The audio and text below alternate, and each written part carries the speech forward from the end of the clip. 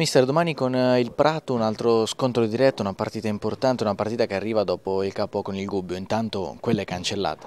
Sì, quella deve essere cancellata, dobbiamo prendere tutte le cose negative, studiarle bene, cercare di capire dove abbiamo sbagliato, non abbiamo capito, per cui mi auguro che questa sia una partita diversa e sono convinto che sarà una partita diversa lo stesso difficile perché poi il Prato viene da, mi sembra, nelle ultime 5 partite 4 sconfitte, quindi ha bisogno assolutamente di punti, una squadra che davanti secondo me ha grande qualità, una squadra abbastanza giovane, però insomma una squadra che si trova lì in difficoltà, non so per quale motivo, perché davanti è, è forte secondo me. Ecco, questa difficoltà del Prato può essere un'ulteriore insidia? Potrebbe essere un'ulteriore insidia, però noi dobbiamo assolutamente passarci sopra e cercare di pensare a I nostri interessi sono quelli di riuscire a ottenere un risultato importante anche a Prato. Un dubbio a livello tattico almeno da quello che si visto? Sì, vabbè, dubbio. Eh, per me la certezza c'è, no, no, no, non c'è dubbio, dai, sono, ci sono due possibilità, si può giocare in due maniere.